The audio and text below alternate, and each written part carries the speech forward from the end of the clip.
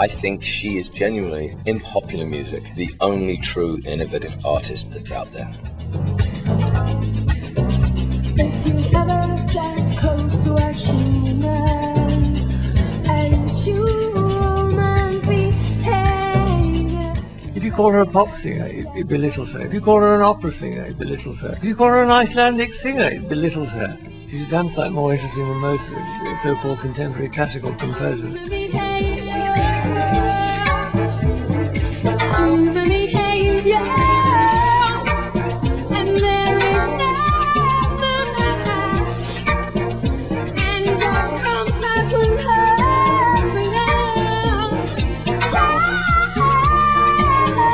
Born with a voice that's very sexual, but at the same time very childlike, uh, very vicious and like powerful, but no sense that she'd ever do damage.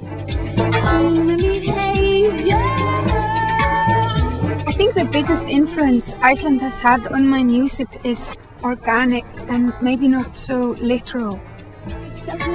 I think I have a lot of affinity with Arctic places. And um, I think uh, Mediterranean passion has been documented very well. But I think the Arctic uh, brand of passion is, is different. And um, it's not more or less passion, it just lies different. It's, it's a lot deeper.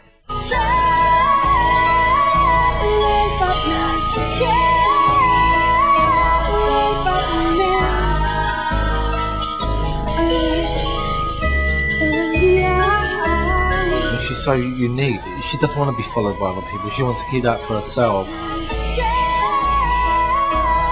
No, no, I don't think she likes to see herself as a style icon. She doesn't necessarily dress to be copied.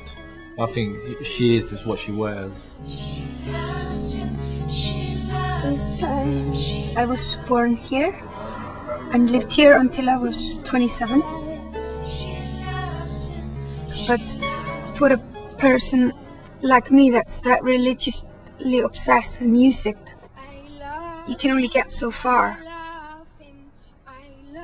I had just come a little bit more mature and I was craving and I was hungry to meet people who felt the same way about music as I did. No one has a voice like her in pop music. Um, um, it encapsulates every single kind of form there is, but it, she doesn't work within a form. She's just totally unique. There's no rules. She abolishes all the rules. Just when you think a song is going somewhere, it goes somewhere else. And melodically, um, I find her probably the most interesting writer that's writing.